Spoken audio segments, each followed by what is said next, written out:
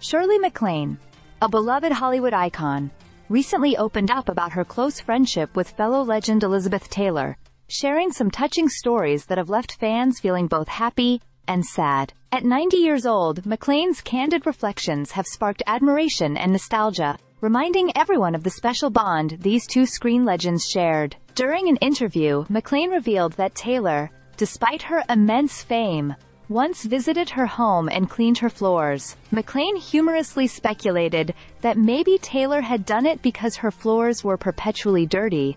But what really stood out was Taylor's desire for simplicity and normalcy, saying, She wanted to be a housewife, at least around me. MacLaine spoke lovingly of Taylor, describing her as a magnificent human being and a very good friend. This candid reflection moved many fans on social media. Some praised Taylor for being so genuine, with one fan commenting, the ultimate compliment. She was real. Others reflected on the beauty of such a deep friendship, wishing to be remembered as Taylor was by MacLaine. One comment summed it up perfectly.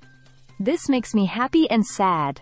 She said her friend was magnificent. What a wonderful thing to say about a person. MacLaine, who has enjoyed a remarkable career spanning decades, still has a lot to offer. Her latest memoir, The Wall of Life, Pictures and Stories from This Marvelous Lifetime quote, is set to release soon, giving fans a deeper look into her incredible life and friendships. It's clear from her reflections that even after all these years, the bond between MacLaine and Taylor remains strong in her heart. Shirley MacLaine's ability to capture the essence of her late friend's authenticity has resonated with fans, proving that true friendships can leave an indelible mark on our lives.